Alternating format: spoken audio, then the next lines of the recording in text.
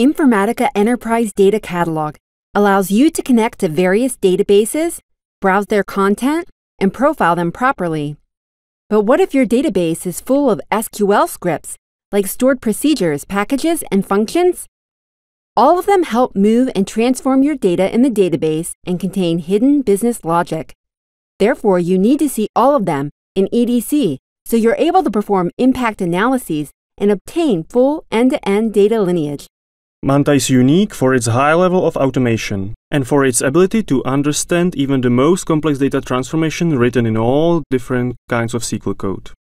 We are able to lend this understanding superpower to many data governance solutions, EDC being one of them. In this video, I will show you how easy it is for Manta to give you complete data lineage in EDC and how to follow the data lineage for one specific element. First, let's look at the original data lineage you can see in EDC. For example, this table contains a report with info about clients from various sources throughout the company. The data was moved to this table with the help of SQL-based store procedures. But where does the data come from? After deploying Manta into EDC, your data lineage will look like this. Now you can see the original sources that are sifting data into our report.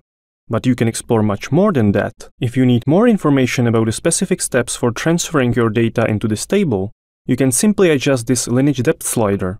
Do you need to go all the way to the column level? Select any column you like and enjoy the highest level of detail possible. As you can see, the difference in the data lineage after deploying Manta is truly dramatic. Understanding the business logic hidden inside the SQL code is what ensures the accuracy of your reports and the trust in your data.